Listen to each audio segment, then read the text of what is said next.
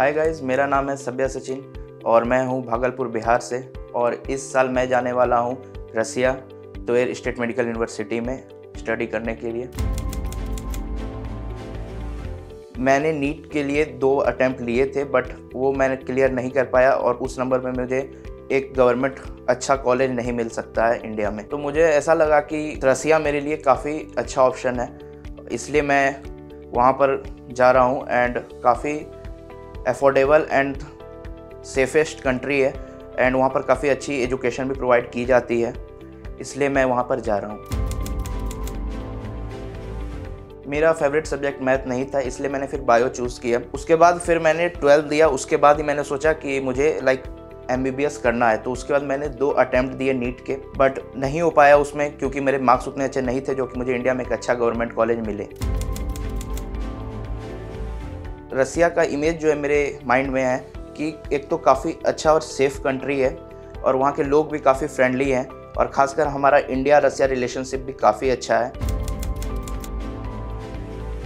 मेरा एडवाइस मेरे जूनियर्स के लिए ये है कि अगर आप नीट प्रिपरेशन कर रहे हैं तो आपको ज़्यादा से ज़्यादा दो ड्रॉप मैक्सिमम देना चाहिए। वो भी जब जब फ़र्स्ट ड्रॉप में आपका लाइक स्कोर 500 आ रहा है, तभी आप सेकेंड अटैम्प्ट दे सकते हो। उसके बाद सेकेंड अटैम्प्ट में भी अगर आपका ना हो पाए तो इंडिया तो काफ़ी ज़्यादा कॉस्टली है तो इसलिए आप रसिया चूज़ कर सकते हो एमबीबीएस के लिए।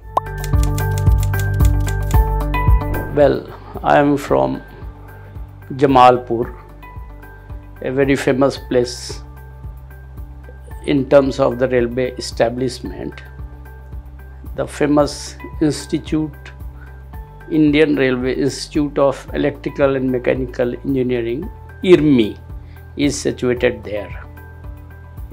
There is a big railway establishment workshop which was constructed there in 1862.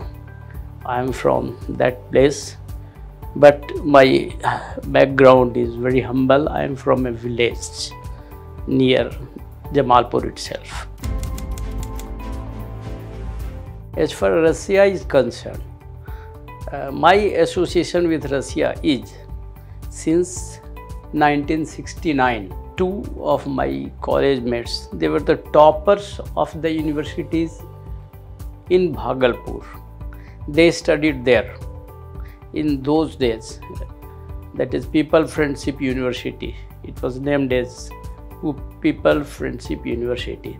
Whenever he used to come to India, we used to know about the Russia. And then in those days, it was a undivided Russia.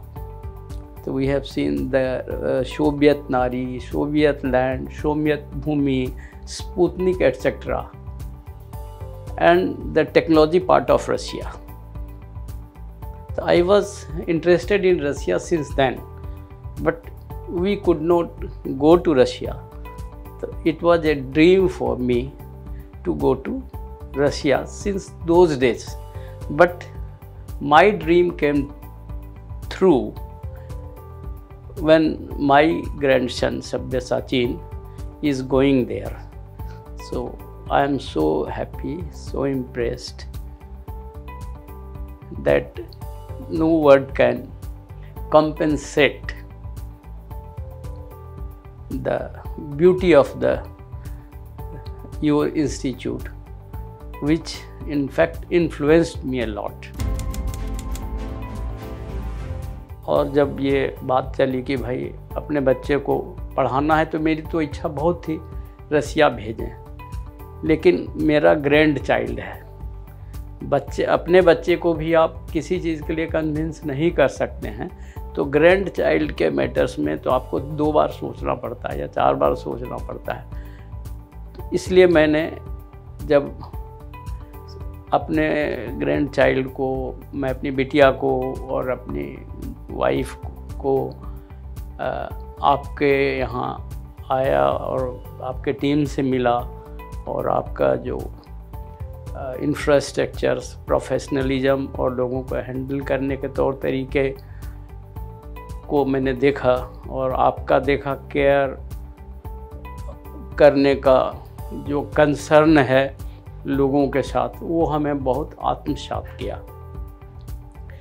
और आप लोगों से मिलने के बाद, आपके team के लोगों से मिलने के बाद, हमें लगा कि ये बहुत ही उचित जगह है और आपके थ्रू रूस एजुकेशन के थ्रू वाकई में हम रूस के साथ जुड़ पाएँगे। कोई भी चीज़ हम पढ़ कर के समझ सकते हैं और आज तो इन्फॉर्मेशन एज है और इस इन्फॉर्मेशन एज में आप जानकारी इकट्ठा कर सकते हैं। और ख़ासकर भले पेरेंट्स ना पढ़े लिखे हों, लेकिन उनके बच्चे जो हैं, आज के दिन हर बच्चों को इतना ज़्यादा कंप्यूटर से भी मोबाइल से भी हैं कि उनको सारी इन्फॉर्मेशंस का पता है। देखिए, हमारे दिमाग में ऐसा कुछ नहीं चल रहा है कि सभी सचिन वहाँ जा कर के लैंग्वेज की वजह से इसे कोई प्रॉब्लम होगी। ये प्रॉब्लम आज से 50 साल 60 साल पहले हो सकता था। आज के डेट में ये बिल्कुल ही प्रॉब्लम नहीं है लैंग्वेज का। एक तो आपने बैच के साथ भेज रहे हैं, आपके लोग उनका साथ रह रहे हैं वहाँ आपका बहुत ज़बरदस्त इंफ्रास्ट्रक्चर है और फिर आप सारे बच्चों को अपने बच्चों की तरह समझ कर कर इस चीज़ को आप चला रहे हैं। तो ये हम हों ना हों, आप हैं और आप ही उनके गार्जियन हैं और आपके ही गार्जियनशिप में बच्चे वहाँ जा रहे हैं। तो इसलिए इस तरह का कोई डर वाली बात नहीं है।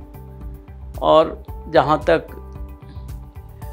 नए जगह की बात है तो चूँकि आप मेडिकल से कनेक्टेड मैटर पे बात कर रहे हैं तो क्या है कि एक मदर ने अपने बच्चे को पानी में जन्म दी थी।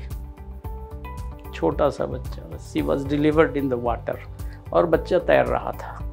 उसके लिए तो it was a totally different जो भी लोग अपने बच्चों को वहाँ भेज रहे हैं तो उनसे मैं यही कहूँगा कि आप इस चीज़ को, इस भ्रम से मुक्त हो जाएँ कि आपका बच्चा वहाँ जा कर के भाषा के अभाव में, दोस्ती के अभाव में, रिश्तेदारी के अभाव में उनको किसी तरह का कोई भी कष्ट होगा। और फिर जब वो वहाँ पढ़ने जा रहा है तो आपका भी फ़र्ज़ है कि अपने बच्चों को पढ़ाएँ, बताएँ कि बेटा वहाँ जब आप जा रहे हो तो आप जिस उद्देश्य से जा रहे हो और इस उद्देश्य को पूर्ति करने में काफ़ी लोगों का सहयोग है, काफ़ी लोगों का इन्वॉल्वमेंट है और काफ़ी लोगों के मन का सपना है। तो आप ही उस सपने को पूरा कर सकते हो और आपके साथ सारा जहाँ है, सारे लोग हैं, सारे रिश्तेदारों का आशीर्वाद है और रूस एजुकेशन जब आपके साथ है तो आपको किसी तरह की कोई तकलीफ़ की चिंता ना करें।